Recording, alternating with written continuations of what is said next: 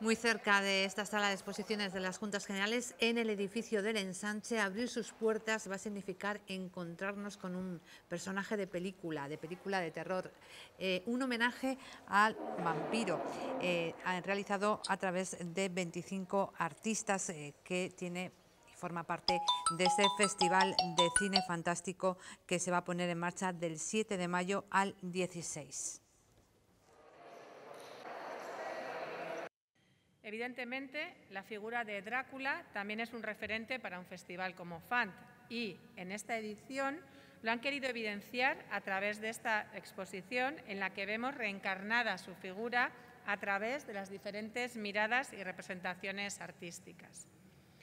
Esta exposición y el Festival FANT al completo se enmarcan en la iniciativa municipal Bilbao Udaberria 2008 una apuesta del Ayuntamiento de Bilbao por llenar de ocio y cultura la ciudad esta primavera también. Eh, yo creo que todos y todas hemos crecido con alguna imagen ¿no? relacionada, podemos contar miles de historias y realmente es un reto representarlo y hacer una versión diferente. Y creo que es un reto al que nos hemos enfrentado todas Creo que es muy interesante que la, exposición se haya planteado desde que seamos todas ilustradoras o bueno, relacionadas con el diseño gráfico el mundo del cómic, que seamos todas autoras femeninas, porque creo que encima el, género un poco de, cine fantástico y de terror es un género que